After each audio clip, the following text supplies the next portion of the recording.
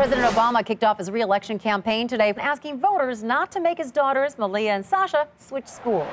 Marie Byron joins us now, along with Onion News Network senior political analyst Jason Copeland. Jason, nice to see you again. Hey, Brooke. Hello, Brooke. It's an interesting strategy, don't you think, uh, for Obama? Telling voters he knows that they don't like him, but if he had to move out of the White House and his daughters had to start all over at a new school come January 2013, well, it would just about break their hearts. You know, it's, a, it's a desperate move. He clearly doesn't have anything else to hang his hat on, so he's decided the best strategy is to tell people that a vote for a Republican is a vote to take away all of Sasha and Malia's friends and force them to get new ones. Yeah, well, no matter what you think of his policies or leadership, it's hard not to feel a little bit guilty when you see the Obama campaign's new slogan, For the Kids' Sake, featuring a logo of Sasha and Malia looking all doe-eyed. Yeah, I think it's really smart. Obama knows voters are upset with him, but his adorable, adorable children have done nothing wrong. I mean, you know, Malia will be halfway through her freshman year of high school. Sasha will just be starting junior high. Mm -hmm. His team is really pushing the message that, look, this is just too important a time for these girls. Yeah, and the strategy may be working, too, looking at some of the tweets that we've been getting all day. At WinPan Zero tweets, I had to change schools in eighth grade, ruin my whole life.